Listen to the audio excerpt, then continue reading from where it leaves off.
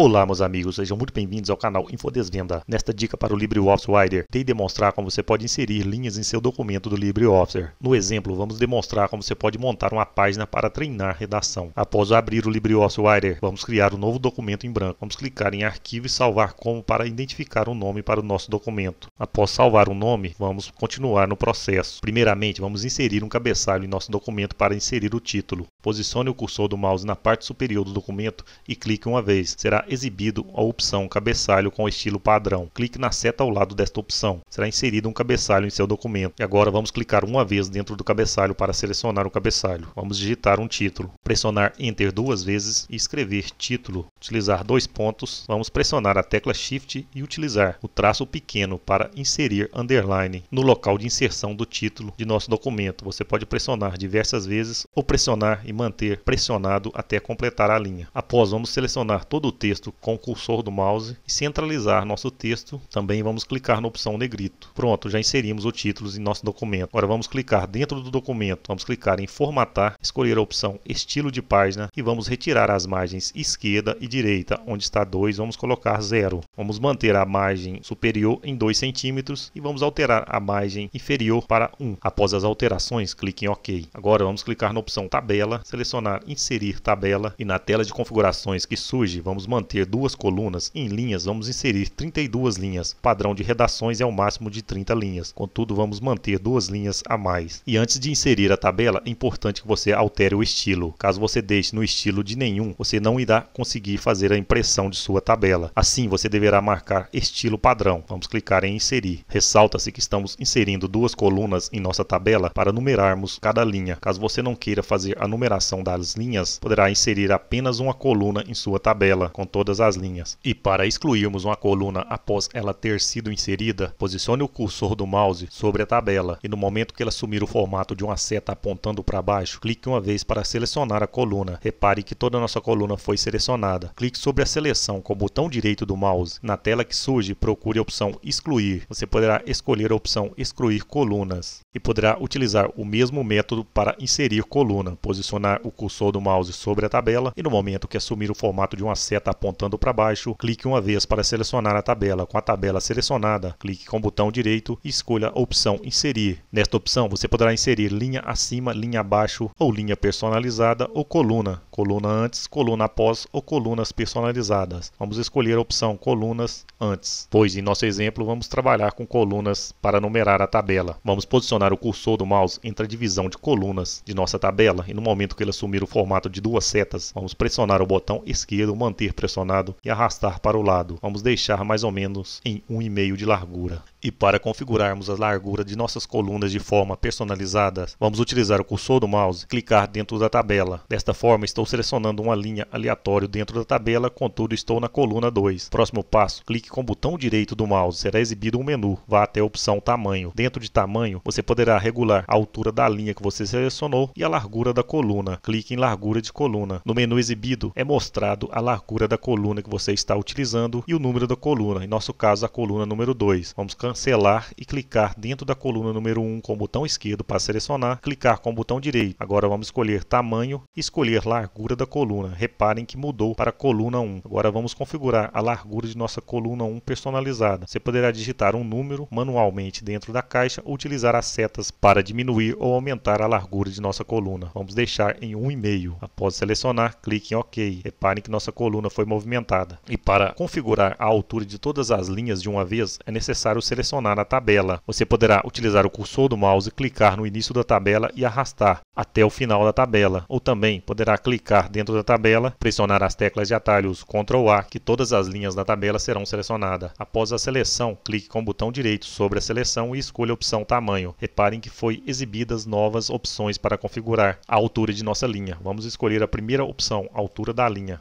Em nosso caso, ela está ajustada ao tamanho marcado. Você pode desmarcar essa opção e escolher um tamanho pré-definido. E após escolher o tamanho, você deve clicar em OK. Que todas as linhas do seu trabalho serão configuradas da mesma altura. E agora vamos numerar as linhas de nossa primeira coluna. Na sequência, vou utilizar o cursor do mouse, posicionar na parte superior da minha primeira coluna e no momento que ele assumir o formato de uma seta apontando para baixo, vou clicar uma vez para selecionar toda a coluna. Depois, posicionar o cursor sobre a coluna selecionada e clicar com o botão direito, escolher a opção Lista e dentro de lista vou em marcadores e numeração. Na tela que surge, caso não esteja selecionado, vá até a aba personalizar e dentro desta aba, na primeira opção, caso esteja selecionado uma outra configuração, selecione a configuração de numeração 1, 2, 3. Após, vamos manter o início em 1. Caso você queira, poderá retornar para o início em 0. No nosso caso, vamos manter o início em 1 mesmo. E no estilo de caractere, você pode selecionar diversos. Vamos escolher a opção número de página. Por fim, clique em OK. Foi inserido inserido numeração em cada linha de nossa tabela. Vamos clicar na opção negrito para negritar toda a numeração.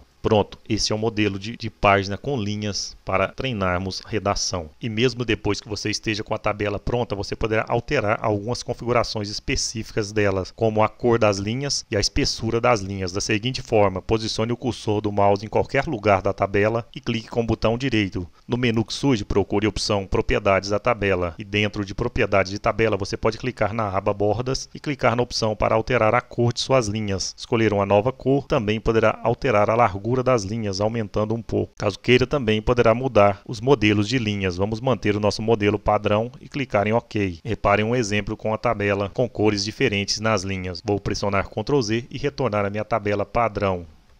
Caso você clique na opção Visualizar impressão, reparem que será feita a impressão de todo o nosso documento. E esta foi mais uma dica do canal Infodesvenda sobre o LibreOffice. Espero que tenha te ajudado de alguma forma. Se ajudou, se inscreva em nosso canal. Deixe um like no vídeo e um comentário, pois sua inscrição, seu like, seus comentários são muito importantes para o nosso trabalho.